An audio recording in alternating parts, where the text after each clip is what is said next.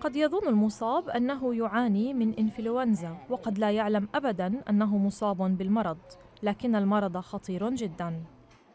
فقد أعلنت منظمة الصحة العالمية أن عدوى فيروس زيكا الذي ينتقل عبر البعوض يمثل حالة طوارئ دولية ويهدد الصحة العالمية. الإعلان ليس عادياً فهي المرة الرابعة فقط التي تعلن فيها المنظمة حالة طوارئ منذ عام 2007 فعدوى زيكا بدأت تستفحل بصورة شديدة في الأمريكيتين بعد انتشاره ب 24 دولة أهمها البرازيل. ومن المرجح أن يصيب نحو أربعة ملايين شخص بحسب المنظمة. الوباء ليس جديدا لكنه كان محصورا في إفريقيا وآسيا في الخمسينيات. ليظهر العام الماضي في شمال شرق البرازيل ومنها ينتشر في باقي أنحاء أمريكا الجنوبية. انتشار المرض تزامن مع تحذيرات للبرازيل قبل أشهر بارتفاع غير عادي في عدد المواليد المصابين بصغر حجم الجمجمة. الأمر الذي ربطه باحثون بفيروس زيكا لينشر الفيروس المخاوف إضافة إلى المرض. خصوصا أن هذا المرض يؤدي إلى إنجاب مواليد بأدمغة غير مكتملة.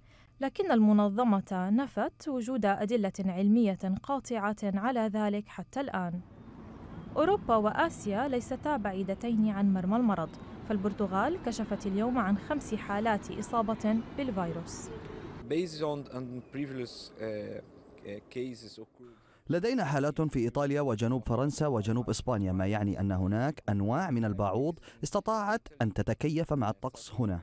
وهذا يرفع من مخاوفنا بشأن هذا المرض الذي يجب أن نتعامل معه بحذر. الحوامل هن أكثر عرضة للمرض فالعدوى بالفيروس قد تفضي إلى أجنة مشوهة. لذلك طلبت عدة دول أمريكية من النساء تأجيل الحمل. أما اليابان فقد دعت النساء الحوامل إلى عدم السفر إلى الدول التي ينتشر فيها المرض. منظمة الصحة العالمية التي تعرضت لانتقادات بسبب بطء استجابتها لمرض إيبولا سرعت هذه المرة إلى إعلان حالة الطوارئ وهي تسعى إلى البحث عن لقاح للمرض. لذلك أطلقت شركة فرنسية مشروعا لتطوير لقاح في أقوى التزام من نوعه حتى الآن لمكافحة المرض. اللقاح وحسب مسؤولين لن يتوفر قبل عدة سنوات يخشى خلالها أن يولد مزيد من الأطفال بجماجم وأدمغة صغيرة.